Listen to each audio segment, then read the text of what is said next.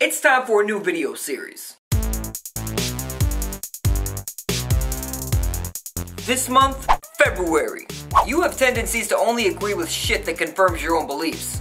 Cut it out. Someone very close to you is going to die and leave you a lot of cash. Congrats. Suck at other signs. Someone is gonna mistake you for a chick today.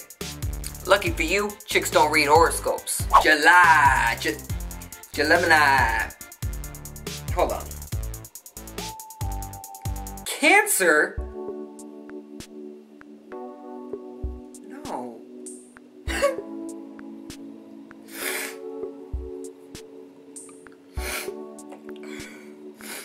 Call your mom. It's time to seriously consider giving up. Answer your fucking text messages. I can see you read it.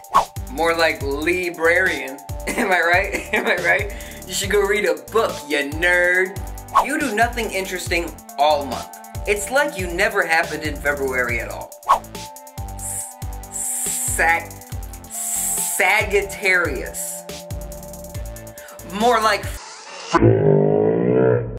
I apologize. You will have a very nice month.